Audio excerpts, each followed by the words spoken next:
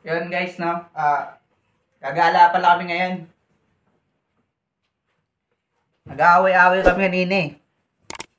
Kasi, yung schedule ng bus dito, dati 9.30, eh, 9.30 pa lang. Nagbago kasi ng, ginawa, dinagdagan ng ano, 30 minutes yung biyahe ng bus. Eh, sabi nung iba, 9.15 daw, 9.15. Eh, nung nakaraan, 10 na kami nakalis. Naghintay kami halos ng 40 minutes. Kaya nandun na sila, iniwan nila ako. Ay nila maniwala sa akin na nagbago na yung schedule. Nadagdagan ng ano, nadagdagan ng 30 minutes yung schedule eh. Tuwing Sabado kasi guys, namimili kami dito. Eh, kala ko hindi sila tutuloy. Kasi may mga karne pa nga sila. Eh, nagbago yung isip. Eh, pupunta pala sila. Sasama na din ako kahit na medyo may karne pa ako dyan. Abot pa siguro ng 2 days. Yung pagkain ko, syempre, mamumblema na ako ng 3 days nun. Kung saan ako bibili dito. May malapit naman dyan kaso hindi siya bilihan ng madaming ano. Kaya siguro sasama na lang sa kanila. Para ma-vlog ko din tong araw na to, no? Makita nyo din dun sa tonton. Eh, sinuot ko na yung sapatos ko. Meron pala dito guys, no? Kadadating niya lang. At 2 weeks na yata siya, 1 week. Mag-isa lang siyang bumiyahe papunta dito ng UK. Ah, mamaya makita nyo siya. Kinaya niya, one, mag-isa lang siya, no? O yun, hindi ko kaya yun, babiyahe mag-isa. Medyo tahimik kasi siya kaya hindi ko siya nasama nung vlog nung nakaraang linggo eh. Pero ngayon, sasama natin siya kasi sasama siya sa amin sa biyahe papuntang Tonton. Interviewin na din natin siya, no? Ah, dito yung bahay nila eh. Kasama siya ng dalawang Pilipino dito, si Louie at si ano, si Pikes. Patuloy muna natin. Yan guys, bago dumating yung bus, naghihintay na kami dyan, no? Naghihintay kami mga 15 minutes. Kasi kailangan, pag dumating yung bus, pag dumaan, dapat nandyan na din kami sa ano, sa babaan ng bus o sasakayan ng bus. Kaya kung sasakay kayo dito sa UK, dapat on time kayo dapat nasa bus kasi hindi, man, hindi maghihintay yung bus sa inyo eh. Kaya kailangan mga 10 minutes before nandun na kayo sa sakayan ng bus. Para hindi kayo maiwan ng bus, no?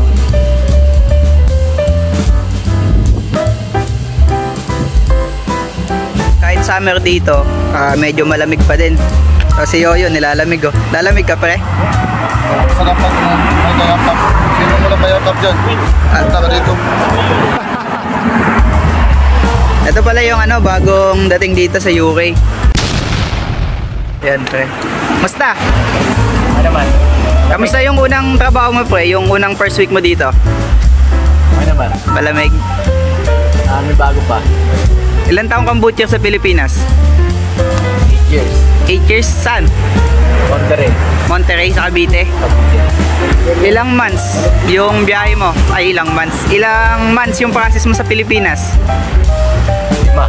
Lima? Limang buwan? Bago ka nakalis? Bilis ah. Pamamaya na lang ulit.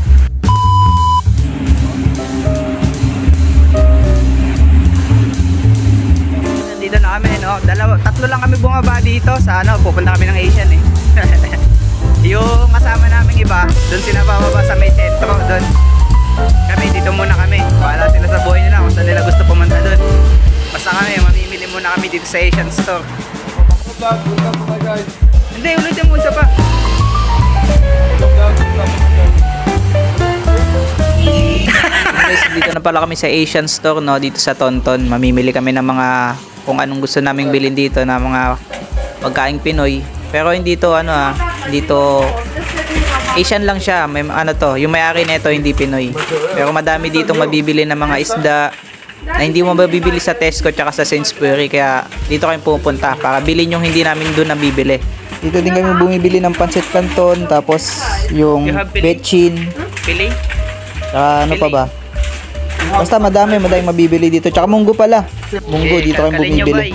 Tsaka toyo, dito din kami bumibili ng toyo kasi sa iba wala talaga makikita ng toyo. Dito lang, dito lang kami nakakabili ng toyo. Meron sila diyang tilapia eh, pero boneless na tsaka skinless. Pero meron din namang tilapia talagang buo. Wala lang laman loob. Ayoko nung may tinik tsaka may kaliskis eh. Gusto ko yung malinis na. Kaya pili yung bibili.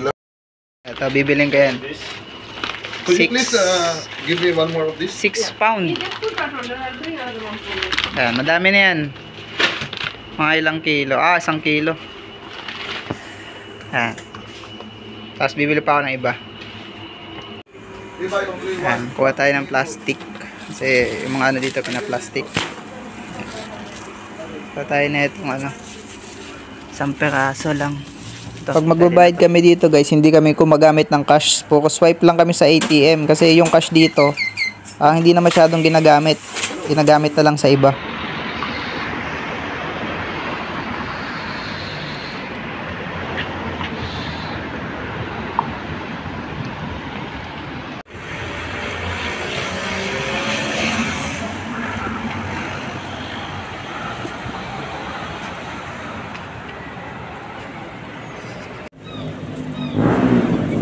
Pisot.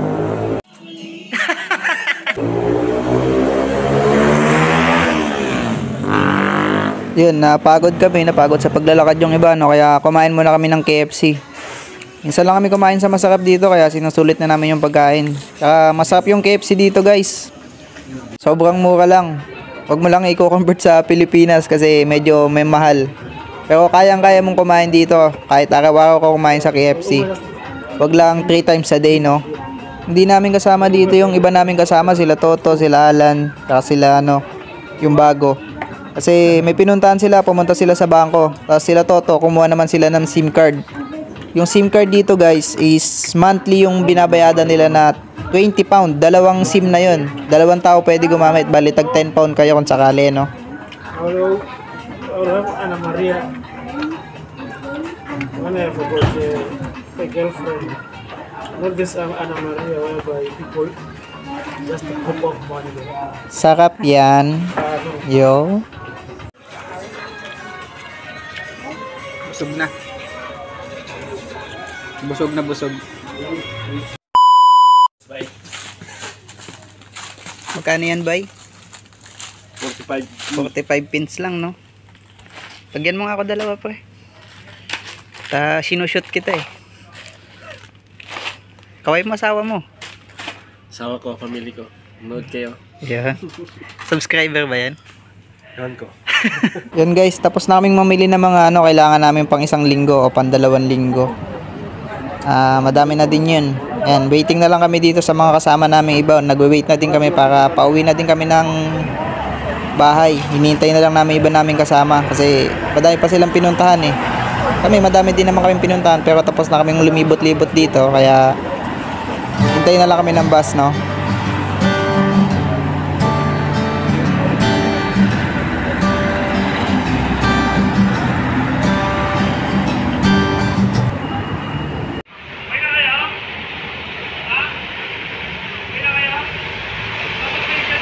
Abot pa kayo. Mamaya pa naman yung bus eh.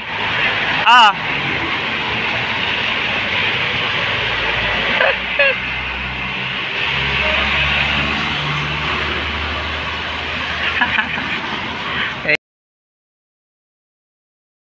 Pupunta pa lang sila sa Asian store para mamili ng mga kailangan nila dun. Dito na yung mga Bisaya. To, shoutout sa asawa mo, kapapanganak lang. pala sa asawa ko bagong panganak. Magawa ulit tayo ng bago. Yun guys, pauwi na kami ng bahay, no? Kita-kits na lang tayo sa bahay mamaya. Mamaya ko na din interviewin yung bago. Itutuloy natin yung napag-usapan namin kanina. Busy din masyado kasi kanina sa lugar na pinunta namin kaya hindi ko na siya na-interview doon. Kaya sa bahay na lang ko siya interviewin. Yun lang, maraming salamat. Ayan,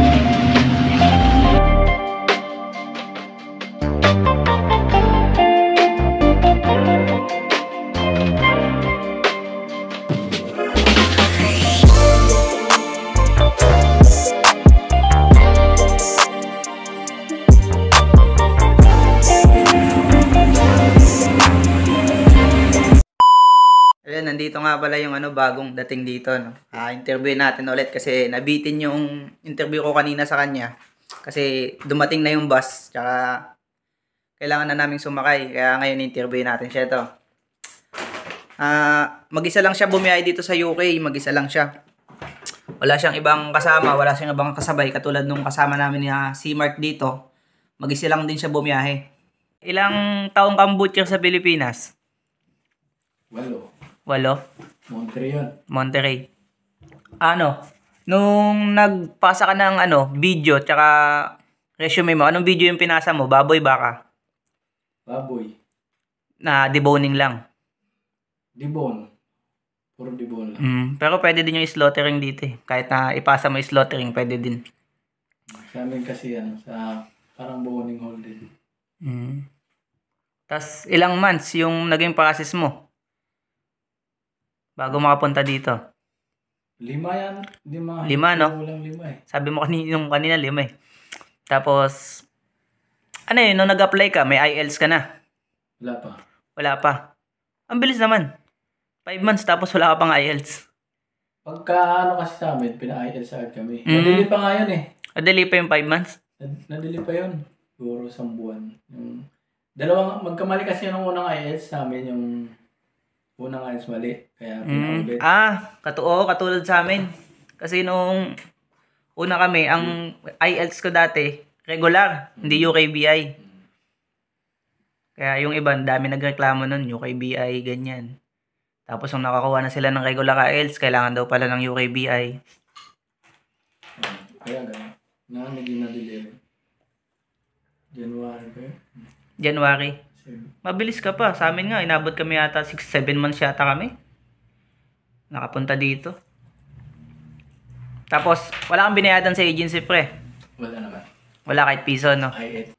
Pero wala namang babayadan dyan. Anong agency pre? 21st century. 21st century, no? Tapos kay GS Agri kayo nag-apply. Oo.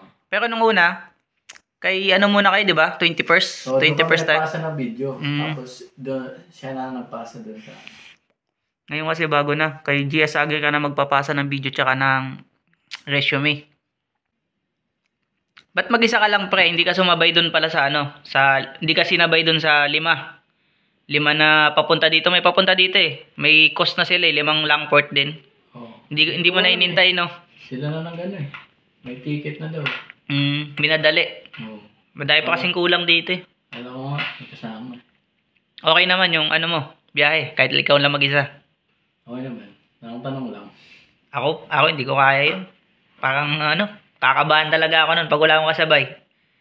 Lalo nung nasa airport kasi kami, may mali kami sa letter eh. Kaya halos tumagal kami sa airport sa Pilipinas. Pilipinas pre, baka may shoutout ka, asawa mo. Leo, nasa Cavite. Nasa Cavite. Cavite. Saan ba yung Cavite? Sa Man- malapit sa Manila yan, di ba? Oo. Sa Mm. South yun. South. Sa, sa mga katrabaho mo dyan sa ano, planta, sa Cavite. Na, may walay na kami. Nasa Canada iba eh. Nag-Canada. Canada. Mm, maganda din naman Canada. Din, yun din yung dati ko dapat eh, Canada eh, kaso lang. Na ano kasi, kanda leche-leche yung requirements ko sa Canada eh. Naabot kami ng 2 years bago ano. Ewan ko, ano nangyari. Kamusta yung unang trabaho pre, yung, yung first week? Madali lang ba? Ang pagod. Aba, Saka sa ano? saan sa? Balikat. Balikat. Pero un- unang ano, unang limang araw, ano? Okay na. tatlong araw. Sa ano lang? Sa packer ako muna. Mm, Yun ang sabi nila sa Packer. Ano ka muna, training ka muna eh. Hindi ka tulad sa amin, nung pagdating namin dito, sinalang agad kami sa linya. Kahit na hindi pa kami, ano, hindi pa kami tinatraining. Pero ngayon, yung mga bagong dating, tinitraining muna kayo, pinapasubok muna. Kami, walang ganun. Pagdating namin kasi sobrang kulang ng tao, pagdating namin dito, pinano na agad kami sa linya. Pinagawa na agad kami, pinag-trim na agad kami. Hindi ka sa inyo na ginaganyan pa kayo nililibot pa kayo eh. Kung saan saan pa kayo pinupunta. Isa naman na mag-isa lang din siyang bumiyahe papunta dito sa UK. Si Mark. Ba't mag-isa ka lang pre? Bumiyahe.